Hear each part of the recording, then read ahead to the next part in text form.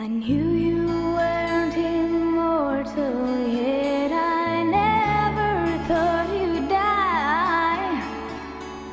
After tried to keep my tears inside, but my soul weeps and cries.